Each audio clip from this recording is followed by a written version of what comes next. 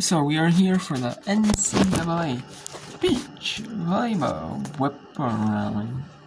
These are the championships. Some beach volleyball is not super super televised, like regular volleyball is. Um, like men's, women's volleyball is more occasionally televised on, e on like ESPN, ESPN two, ESPN SC Network, AC Network, as well as the conference networks, and FS1, FS2. It's more commonly televised on like, and it is also on streaming for some of the smaller conferences. You know, it is more commonly televised, but um, men's volleyball is on like regional sports networks or like ESPN Plus stuff like that. So it is common, or you have it on like Big Ten or on like conference networks, Big Ten network Ten Plus. But um, Beach Volleyball is not super commonly televised. It might, unless it's like on streaming every, you know. But for the conference tournament, a lot of the schools, you know, for conference tournaments, they don't normally air. They're, they, I mean, these games may not be on ESPN Plus like the schools like ASUN, their volleyball matches for a regular season may not be on ESPN Plus. I think they might be on school websites. Instead of being on school website, you know, they're on ESPN Plus for the championships. So we have the ASUN going on right now. That started at 9 Eastern. We have the OVC that started at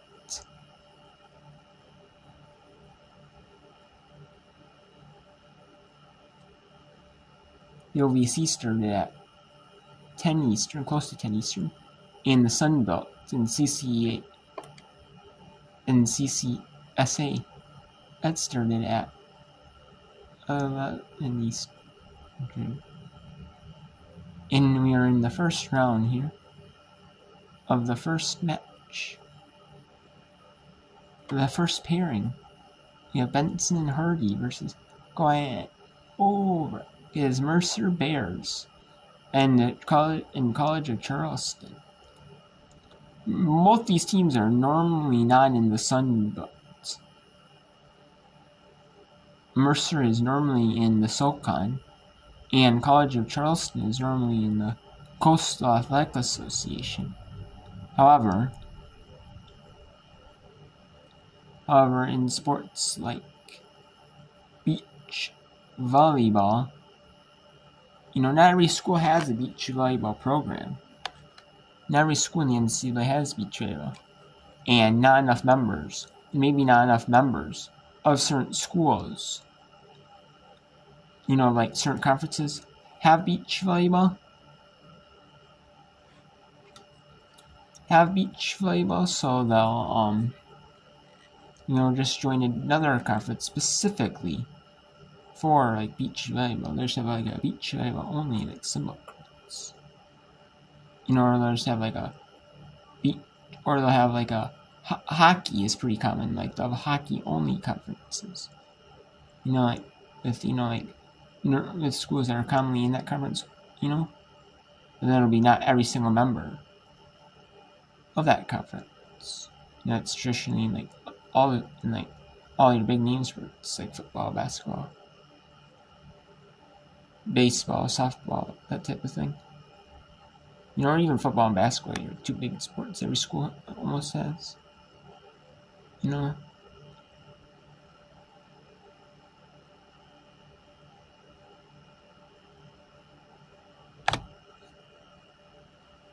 Yeah, let's go to the let's go to the OVC championship. We got a good one here on court one. Erzin, how is it? And Powell, 19. And we got Lyman and Murray, 16. Here in these OVC championships. And there is a point, and it's hosted by Morehead State. By the sand courts at Moore, by the in the in the beach volleyball courts at more near Morehead, either at Morehead State University or near Morehead State University. Community groups. groove in the game or even how tired you are and how much you've been in the sand to That one long, so the Golden Eagles pulled within one over there. This is Powell. Set Wyman. Powell on the block. Another good cut shot there from Wyman. She ties things. Correction, she moves it to within one here on court one. On court two, it's tied up at 20 as Wogenstall can't get that one to go down. And we're really kind of seeing a reversal of what we talked about at the beginning of this ones, twos, and threes matchup. Is you know the twos and threes for Tech won their first sets, and the ones lost them in the first two times these teams have met up. Well, the threes have already lost their first set. Morehead State goes back up by one over here on the twos, and the ones are sitting up in their set. So if we look over on court two for this play by Wogenstall, just had a lot of court to play with there. yes she did able to also create space by having that ball on the right side of the court What a touch shot there by Roberts to pull Tennessee Tech back to within a tie here, 21-21 as they make the changeover. It's 20 to 19 in favor of Tech here on court one as they're getting ready to get back underway over on court three. We're into the second set. It's Isley on the attack. And she's able to put that one away. It's 2-2 early on there. Tied at 21 on court number two. Boom, with the service over and gets the ace. that is a great way to move into the confidence could not get over to it. she shot her platform super late was able to get her shoulder around that ball We got two set points for Tech now on one and two. Here is Powell. Rolls it over. Off the net, Marita. Powell gets to it over on court two. It's Wogenstall on the attack. Pushes it over. Boom. This one gets over. Court one. Tech able to come away with the set victory. 21 19 there.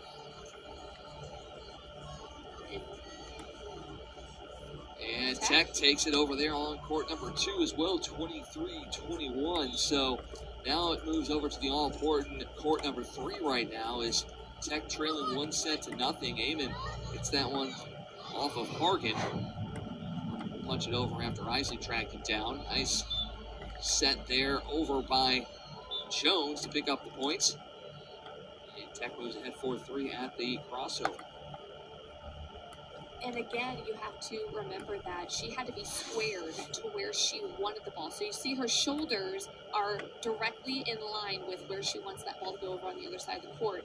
And so she is legally allowed to do that. She didn't go over her shoulders, she went directly above her head, and that is a legal play. And it's crafty, and that's exactly what Tennessee Tech needs right now. Well, in indoor, you have the, the setter dump in a sense, and that's kind of what that is here in beach volleyball. It's, it's still technically a setter dump, but because you only have two players out there, you don't necessarily have a specific setter, mm-hmm. but it's just a smart play. As long as you line yourself up correctly, Yes. then it's a very tricky play for a team to have to contend with. As another point picked up there, this time by Morehead State, as they tie things up at four. One and two are in their set timeout as back to serve is Emmy Hargan. Jones, big swing off the net. That's going to go down for a Tennessee Tech point. I believe I believe the threes are feeling it for Tech. They are feeling the pressure a little bit. They obviously don't know what who really won on, you know, court one and court two, but they do know that they want to give their team a chance, and they're coming out very aggressive in this second set for them. Well, already knowing that you trail two to nothing in this duel, you know you have to win in order for your team to even have a shot. So it doesn't matter what's going on on courts one and two. You need to win your matchup if it continues to continue like it is in order for you to find a way to win this one. So we're back underway on court number one as well. Powell rising up for the attack and the kill. We're on court number three. That one goes down again for Tech. They've moved ahead seven to four. Powell will be back to serve here on court one. Court two getting ready to get back underway as well. That drop shot by Wyman goes out of play. Tech goes ahead 2 0. Jones with the service over on court number three. Hargan setting Iceland. She tries to cut shot across the way. That one's going to go out of play again. Another point for Tech. So early on in this second set, they're doing exactly what they need to do.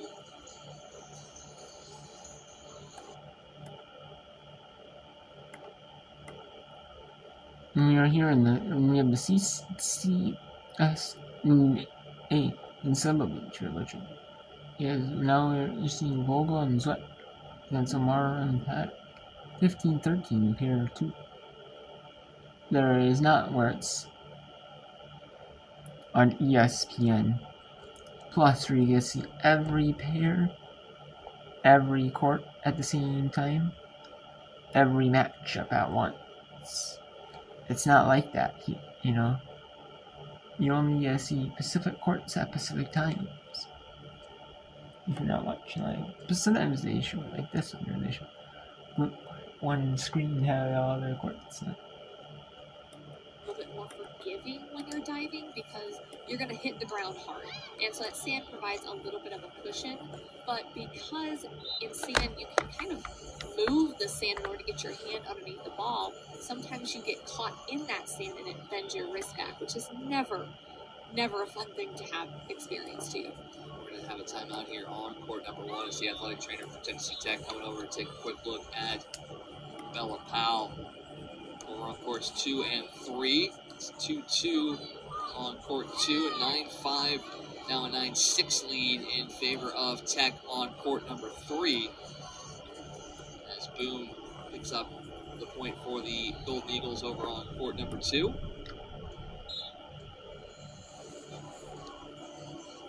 As we see Powell kind of getting looked at there, it's still kind of grabbing that wrist. And as she was kind of walking off, you saw she was kind of motioning how it happened. It almost was like, you know, an underhand toss. Her hand gets caught, and it got caught. But she does, she did kind of jump up a little bit afterwards. You can tell she was a little slow getting up, but just kind of shaking it off as the ref now coming over to take a quick look. Back on courts two and three, we're underway. It's one thing that with you know, in an injury, your adrenaline's going, so maybe you don't notice it as much. But when you take a second, you have to reevaluate how how hurt am I, or is this just a fluke? Is it going to go away?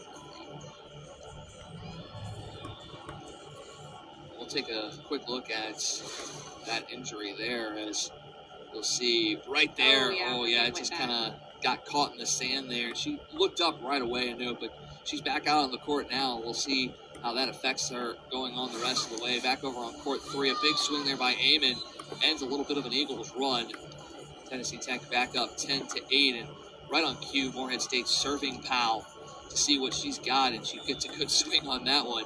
Now Marita tries to send it over. She can't. That's four touches and a point for Tennessee Tech. Over on court two, Tech holding a 4-3 lead. That one sent to the back. Roberts able to get there. Boom, up with it. Roberts can't get it off the net. And a point for the Eagles. Isley into the net over on court number three.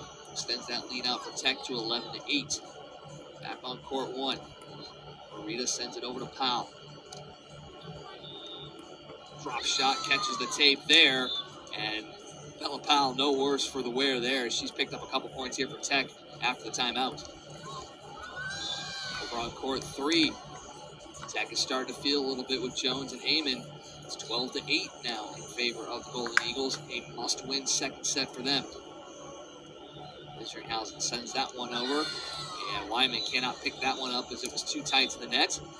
A service ace for Isringhausen.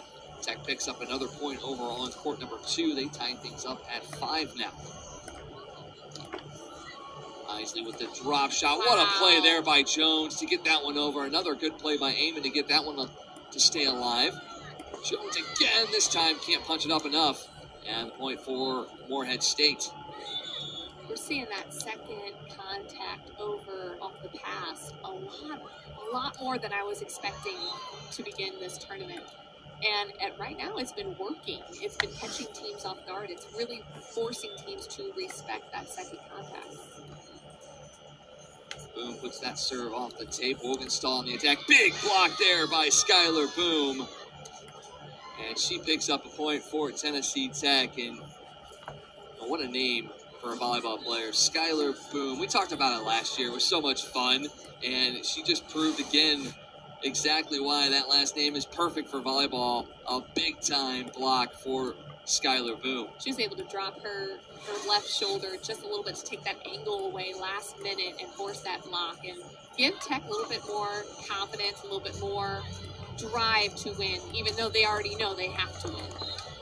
Powell got a touch on that one on court one off the attack from Marita, but not enough, and Morehead able to hold it within two. It's a 7 6 lead for the Golden Eagles over on court number two.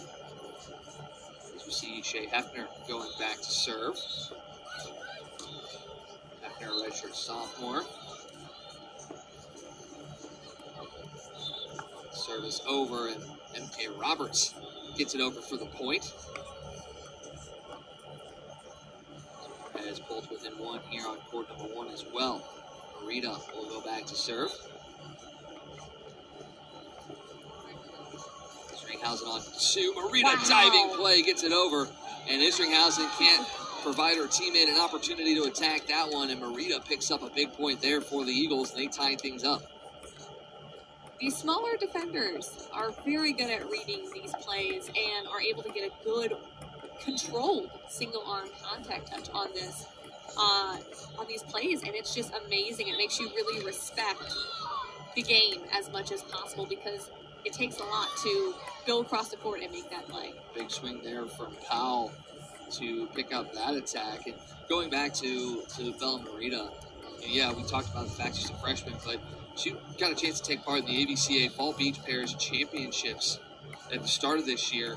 And she got to face off against UAB, Tampa, and national title match contender UCLA. That's a heck of a way to start your season off. And, you know, you're already seeing that that experience has paid off for her as she's moved up to the ones here for Morehead State. And really, her defense has been phenomenal early on. Lyman catches a little too much of that one and sends it long. And point for Tech puts them back up by two. Over on court number three, it's down to a two point lead for Tennessee Tech as they're up 13 to 11 there. A 9 8 lead over on court two. It's Emmy Hargan back to serve for the Eagles on court three. Jones setting up Amon into the nets. Another point for the Eagles over on court two. Wogenstall dropped it off of the touch of Boone. They'll go down to tie things up at nine apiece. One you have to be keeping an eye on here, though, is court number three, as Morehead State holding the one to set, one nothing set lead. They also have a two nothing dual lead